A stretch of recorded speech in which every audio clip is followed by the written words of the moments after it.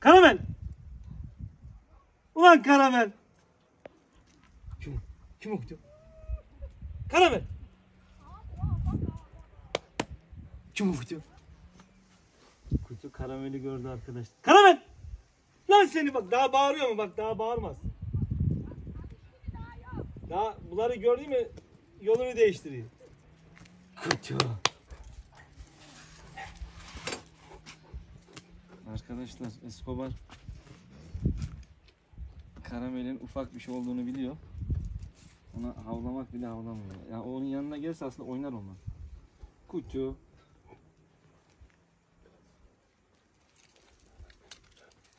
Arkadaşlar Escobar'ın üstü tamamen düzeldi. Az önce canlı yayın yaptım da canlı yayında da gösterdim. Şimdi tüyü biraz e, dökülüyor. Eskiye göre daha az dökülüyor ama şimdi onlara zeytinyağı veriyoruz. Orijinal zeytinyağı, saf zeytinyağı veriyoruz. Bu zeytinyağı da onların e, tüy yapısını e, sağlıklı bir hale getiriyormuş. Biz de onun için onlara zeytinyağı vereceğiz böyle. Her gün dogolara vereceğim sadece. Gel. Escobar. Hala şey yapıyor. Gel. Gel buraya. Escobar buraya gel. Kutu.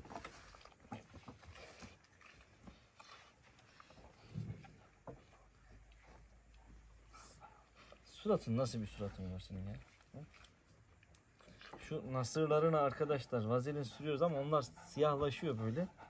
Eski haline gelmiyor. Böyle siyah siyah duruyorlar.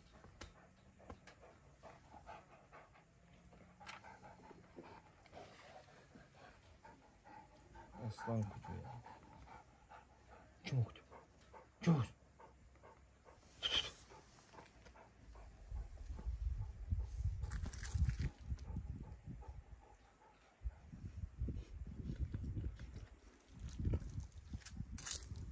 Şöyle yarası olan yerlerini bir göstereyim arkadaşlar. Bakın.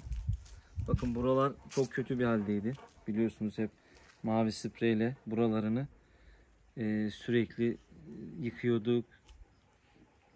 Sürekli böyle ilaçlıyordum onu bir de akıyordu. Buralar hep yaraydı bakın buralar. Bakın nasıl bir değişime uğradı. Şöyle yakından gözüküyor değil mi? Bakın. Şimdi boğazının altında göstereyim size. Bakın bembeyaz oldu. Yani o mevsimsel geçici bir şey.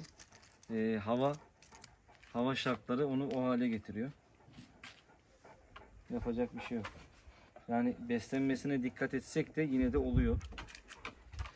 Ee, yaz aylarında hani makarna yoğurtla beslersen dogosu olan arkadaşların tavsiyeleri oldu. Biz tabi geç kaldık ama bu önümüzdeki yaz ayında makarna ve yoğurt olarak besleme yapacağım. Bakalım olacak mı? İnşallah olmaz. Ama tüy şu an bembeyaz.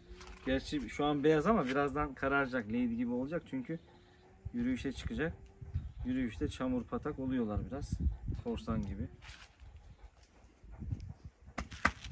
Tam bir kutup ayısı ya. Kutu. Kalkabilecek misin? Düşme oradan ha. Ayağını biraz daha bu tarafa al. Onu biraz daha bu tarafa al. Ha. Ha. Hadi kalk bakalım. Hoppa. Evet. Şöyle bir bize fotoğraf al. Kapak fotoğrafı olsun. Kutunun artık hastalığı tamamen geçti ve tüyleri pırıl pırıl oldu.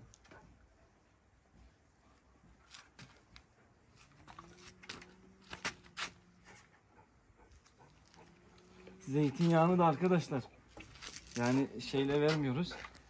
Onu da söyleyeyim. Aslında bu videoda onu gösterseydik iyiydi. Zeytinyağı evde şimdi. Alt kattan alıp veriyorum. Alt katta. Ee, bir videoda gösteririm. Şırıngaya çekip bir kaşık kadar şırıngaya çekip ağzını böyle açıp böyle kutu ağzını açıyoruz. İçine atıyoruz. Ondan sonra bu zaten yalamaya başlıyor.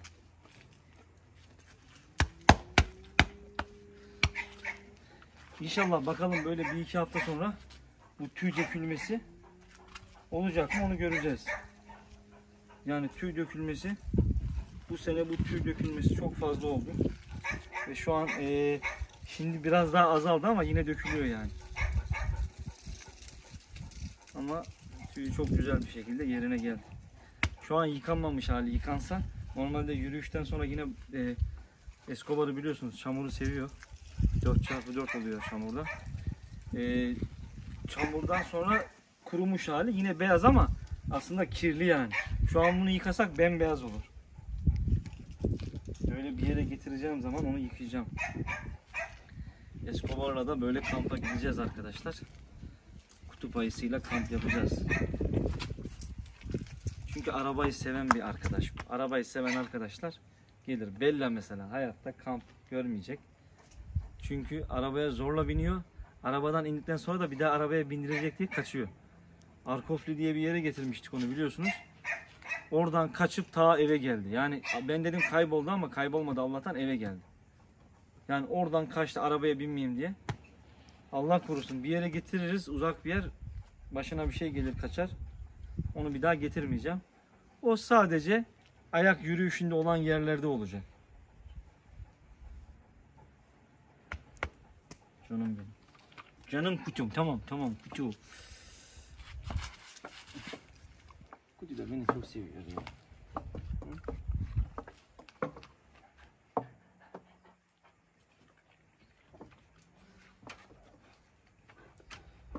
Dünyanın en şanslı dogosu kim biliyor musunuz arkadaşlar? Hera.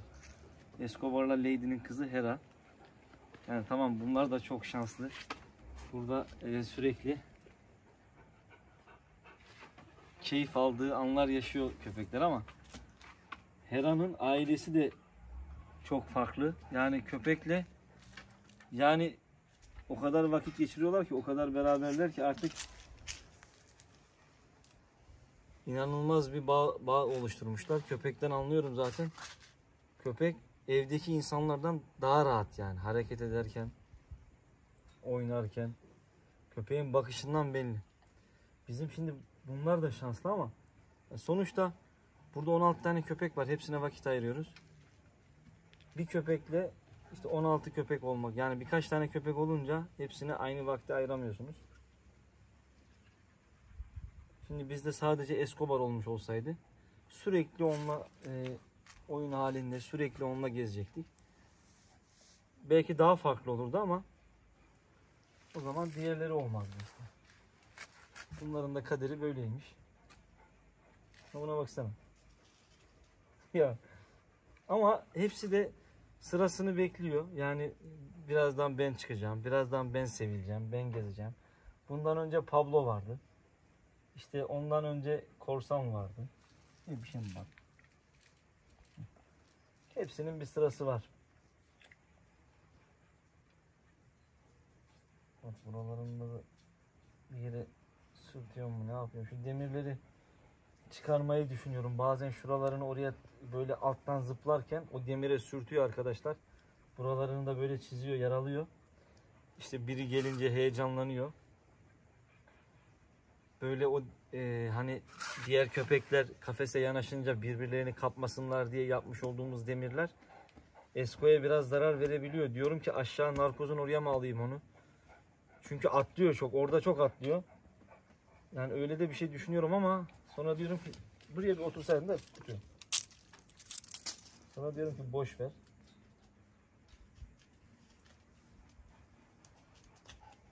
O demirleri oradan alsam Mesela Al Capone gidiyor buna yanaşıyor birbirine giriyorlar. Eğer o demirler olmasa birbirlerinin suratını kapabilirler. O risk de var. Artık bakalım. Oğlum bu bunları boya mı yapılıyor ya? Oturakları boyamıştım arkadaşlar. İyi ki boyamışız. Çürümeye başladılar.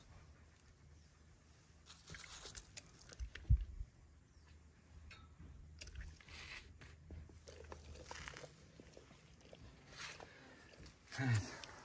Görüşmek üzere. Allah'a emanet olun. Gel bakayım. Gel buraya. Atla bak atla.